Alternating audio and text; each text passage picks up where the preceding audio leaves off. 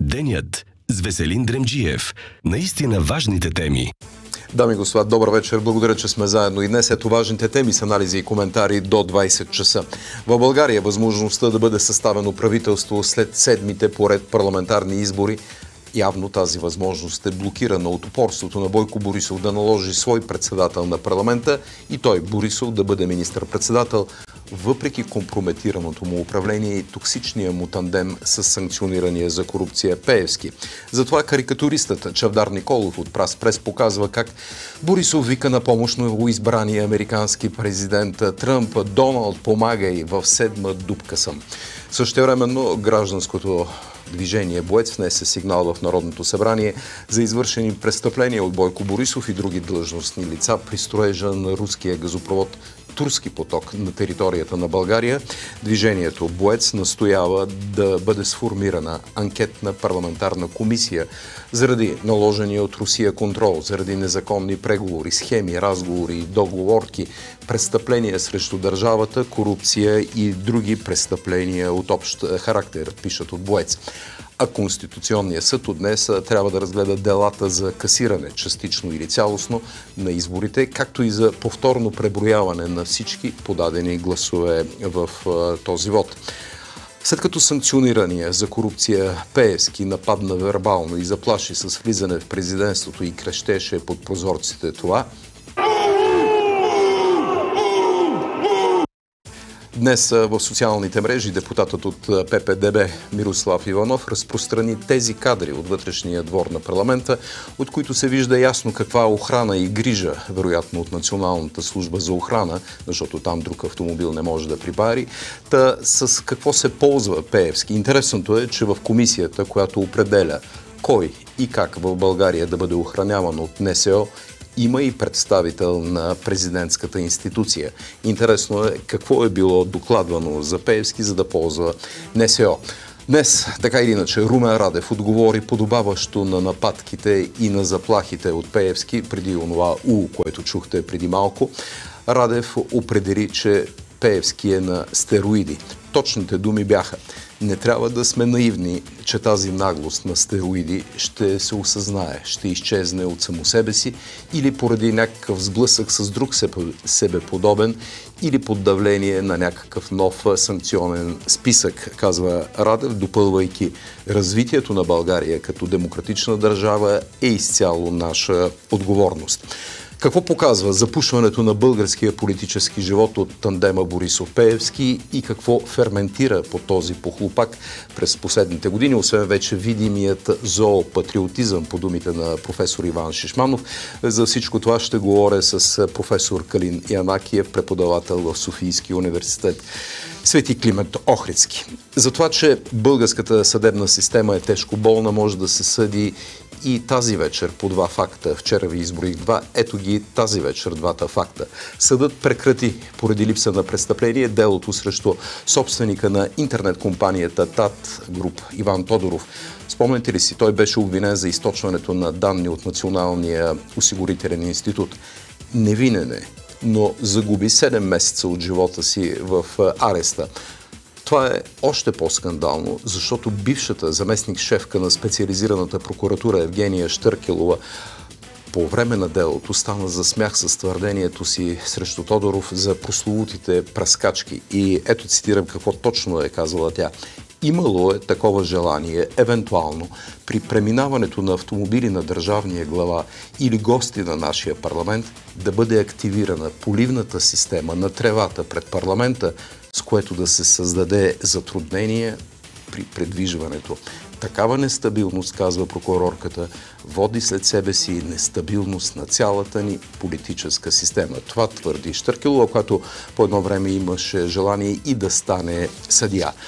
Как се хаква чешма или пръскачка, не е ясно. Няма нито една номинация, това е другия факт за болната Темида.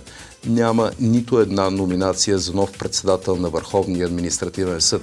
Това докладва днес в последния възможен срок председателстващия, представляващия Висшия съдебен съвет Боян Магдалинчев. Заради липсата на номинирани процедури се провали тази кандидатури, се провали тази процедура и тя беше прекратена.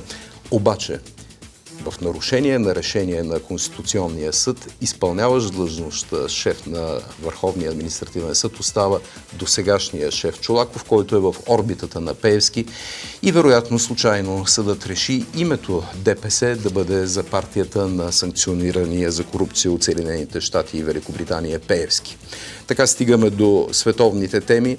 Няма никакво съмнение, че до 20 януари, а и след това вниманието на света ще бъде насочено към Вашингтон. Важно е тази вечер да бъде отбелязано, че Републиканската партия вече доминира и Камерата на представителите, така Конгресът на Съединените щати ще бъде подвластен на Тръмп, който има и мнозинство във Върховния съд.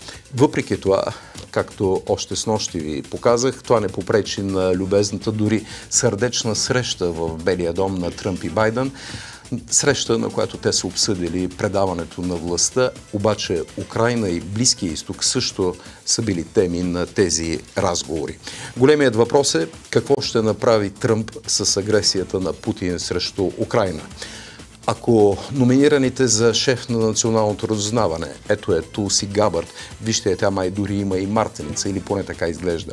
Та, освен Габърт и номинираната за главен прокурор, т.е. министър на правосъдието Мат Гейтс, в екипа на Тръмп тези двамата са били с по-скоро проруски позиции и изказвания.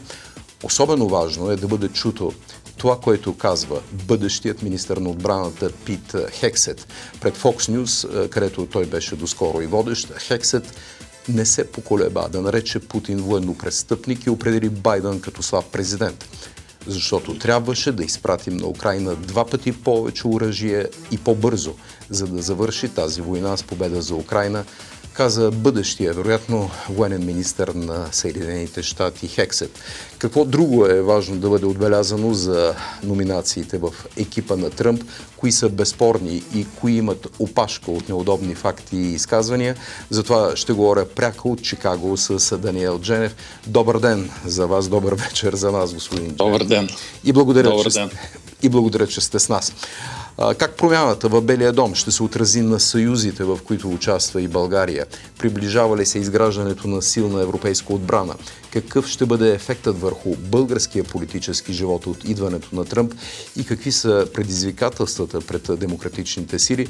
За всичко това ще говорим с Бойко Ноев, бивш министр на отбраната. Добър вечер. Добър вечер. И благодаря, че сте с нас, господин Ноев. Много е интересно, кои ще бъдат арестуваните българи? Има ли и намесени български адвокатски кантори и български счетоводни къщи в разследването, ето го, на Европейската прокуратура, наречено Моби Дик, разбира се, по името на онзи прословут Кит. Това разследване е за измами с ДДС за 520 милиона евро и на мушката са 195 души физически лица, 400 фирми от над 10 европейски и други държави. Може би Турция, може би Албания. Мафиотите, например, са издавали между 20, за пример, между 20 и 23 година фактури за продажба на слушалки, на Apple, лаптопи и други електронни стоки на стойност над 1,1 милиарда евро. Разбира се, ДДС-то фиктивно е било откраднато. Българите са на прицел и в Гърция, след като чисти и мръсни български пари взеха на мушка имоти, ресторанти, барове и дискотеки. Гръцките законодатели приеха драстичен закон, който забранява краткосрочното отдаване под найем на имоти, защото гръцките собственици, например Booking или в Airbnb, регистрират пред данъчните нощувките и плащат данъци върху тях, докато българите с много малки изключения не правят това. По данни на данъчните, в Македония и Тракия. Само за това лято има 57 милиона недекларирани нощувки. По този повод в Твитър Иван пише Българите се ядосват на новия закон в Гърция, но гърците са прави. Вие идвате тук с парите си. Първото, което правите е да смъкнете качеството. Второто е да вдигнете цената, казват гърците. Така печелите година, две, пет и си тръгвате. Ние оставаме с лошия имидж. Но тук са децата ни и работата ни казват гърците цитирани в Твитър. Три теми си заслужава да бъдат отбелязани от Франция тази вечер. Първо, отдалечава се възможността крайно дясната Марин Люпен да се кандидатира на президентските избори през 2027 година, след като с нощи по това време Френската прокуратура поиска за нея 5 години затвор, две от които ефективно, но могат да бъдат с електронна гривна 300 000 евро глоба и това е най-важното, може би. 5 години лишаване от правото на участие в избори. Съдът ще се произнесе в това шумно дело за злоупотреба за над 4 милиона евро средства, които са били освоени от парламентарни сътрудници в Европарламента. Другата тема от Париж е тази вечершния матч Франция-Израел който се играе на Стад де Франс при изключителни мерки за сигурност, присъствието на президента Макрон и на бивши френски президенти. Напрежението идва след, знаете, антиизраелските, антисемитски изтъпления в Амстердам. Тогава гостуваше е, израелския отбор Макаби.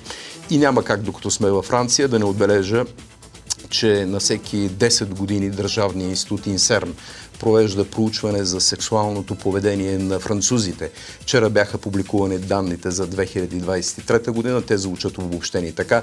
Сексуалността е претърпяла големи промени във Франция през 21 век. Повече сексуални партньори, по-малко хетеропрактики, увеличено удоволствие, както и увеличена възраст на практикуване Изпращат се вече интимни снимки и се откриват партньори в интернет. Притеснителното е обаче запазеното високо равнище на насилие. Две думи за времето сега, на фона на кадри на живо от Кавала, с поздрав към всички, които гледате в чужбина, на живо или на запис денят. През нощта валежите в България от запад ще започнат да спират. Максималните температури ще бъдат между 1 и 6 в София около 2. Утре облачността ще се разкъсва и намалява. След обяд в северо-западните райони ще бъде слънчево, а в централна и в източна България на места слабо ще вали. Максималните температури ще бъдат между 5 и 10 в София около 5 градуса.